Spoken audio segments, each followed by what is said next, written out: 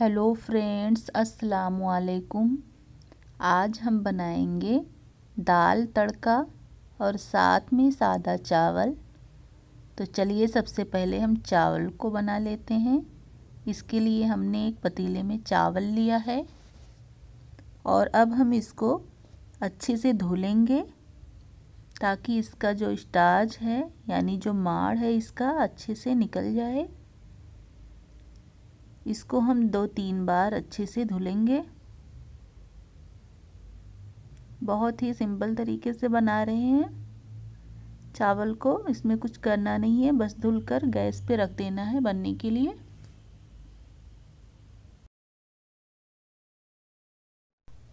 अब हमने चावल को गैस पे बनने के लिए रख दिया है। शुरू में हम गैस का फ्लेम हाई रखेंगे। और जब पानी में उबाल आने लगे तो हम फ्लेम लो कर देंगे ताकि चावल धीरे धीरे अच्छे से पक जाए, क्योंकि हम इसे पतीले में बना रहे हैं। और अब हमने ढक दिया है, अब ये धीरे धीरे हो जाएगा। और अब हम दाल को बनाते हैं। तो चलिए देखिए, दाल हम कैसे बना रहे हैं। इसके लिए हमने कुकर लिया है और इसमें हम दाल को डालेंगे। और इसी कुकर में हम दाल को धुलेंगे। दाल हमने दो तरह का लिया है। एक हिस्सा चना दाल लिया है, दो हिस्सा अरहर यानी तुअर दाल। दाल को हमने अच्छे से धुल लिया है। अब हम दाल को उबालेंगे। तो अब हम इसमें डालेंगे थोड़ा सा नमक और थोड़ी सी हल्दी।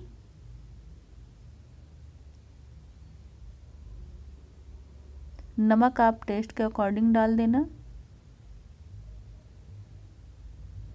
और कटी हुई हरी मिर्च।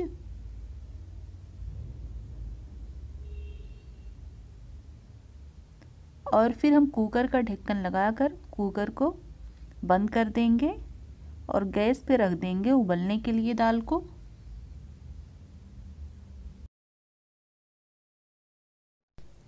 और अब दाल को हमने पकने के लिए रख दिया है गैस पे। इसको हम मीडियम टू लो फ्लेम पर पकाएँगे। और ये देखिए, ये हमारा चावल बन चुका है।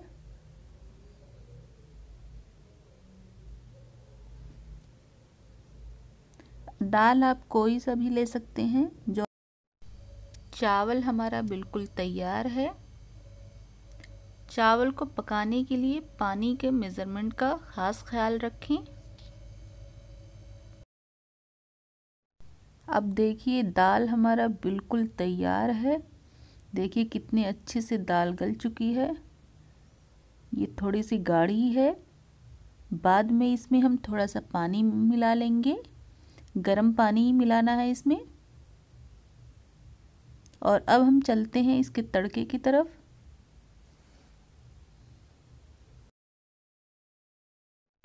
तड़के के लिए हमने लिया है सरसों, थोड़ी सी कस्तूरी मेथी, थोड़ी सी हींग और ज़ीरा, कटा हुआ प्याज, कटा हुआ टमाटर, हरा धनिया और हरी मिर्चें। तो चलिए अब हम इसका तड़का बनाते हैं। तड़के के लिए एक कढ़ाई या पैन लेंगे। हमने ये कढ़ाई ली है और इसमें हमने डाला है सरसों का तेल। और तेल को हम हाई फ्लेम पे गरम कर लेंगे। इसमें धुआँ आने लगे।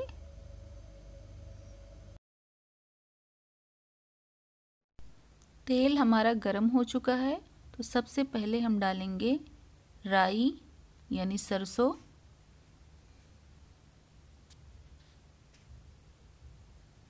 और फिर इसको हम थोड़ा सा फूटने देंगे।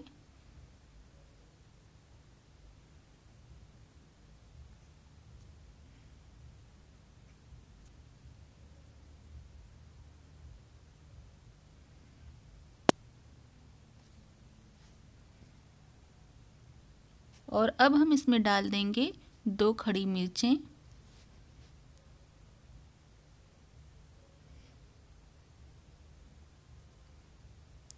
और ज़ीरा और हींग।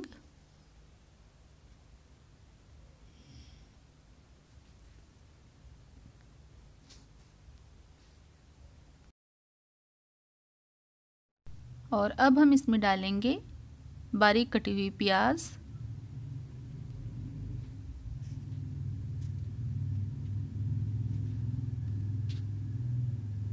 और कटी हुई हरी मिर्चें। और इसको थोड़ा सा भूनेंगे।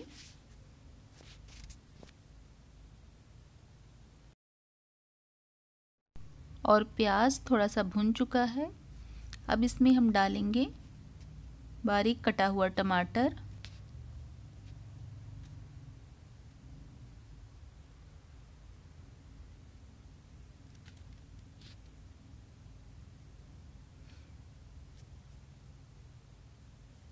और थोड़ी सी मैगी मसाला और थोड़ा सा टमाटर में नमक डाल देंगे ताकि टमाटर गल जाए अच्छे से।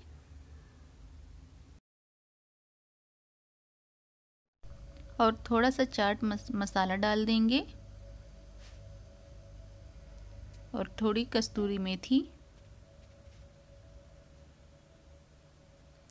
और फिर इसको थोड़ा सा भूनेंगे। आप चाहें तो इसमें रेड चिल्ली पाउडर डाल सकते हैं, गरम मसाला भी डाल सकते हैं, और फिर हम इसको एक मिनट के लिए ढक देंगे ताकि टमाटर गल जाए। तड़का हमारा बिल्कुल तैयार है। अब इसमें हम उबली हुई दाल डालेंगे।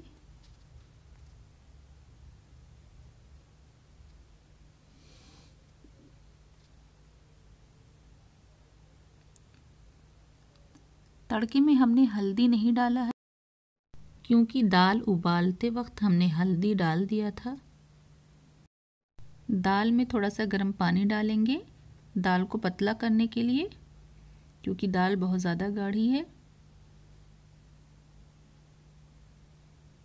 और फिर हम इसको अच्छे से मिक्स करके एक मिनट के लिए पकाएँगे। और अब हम इसमें डालेंगे कटा हुआ हरा धनिया। गाइस ये बहुत ही आसान तरीका है दाल चावल बनाने का। आधे घंटे में दाल चावल दोनों बन जाएगा।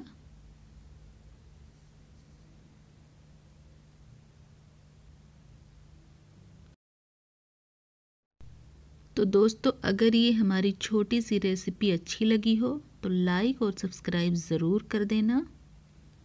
खुदा हाफिज़